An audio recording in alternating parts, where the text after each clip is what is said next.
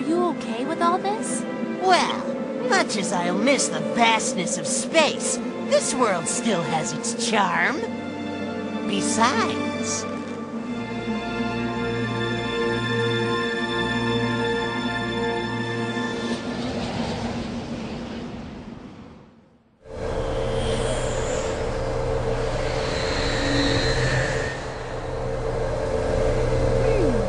wonder what those meteors really were. They had some programming that made them try to gather up the other units.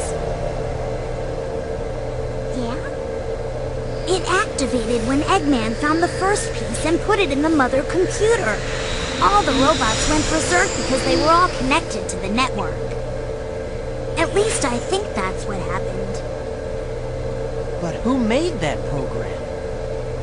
I have no idea. Maybe the ancient Babylonians. Or maybe someone even more ancient. Maybe it was a warning for people to stay away from power beyond control. But the people of Babylon... I can't believe they were the descendants of aliens. They crash landed on this planet in the ancient past. They disconnected their engine unit and left it in orbit, hoping that someday it would fall back down to the surface they saw a shooting star.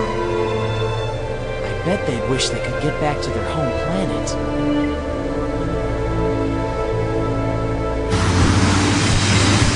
Maybe that's why people started wishing on shooting stars. Sonic! Hmm?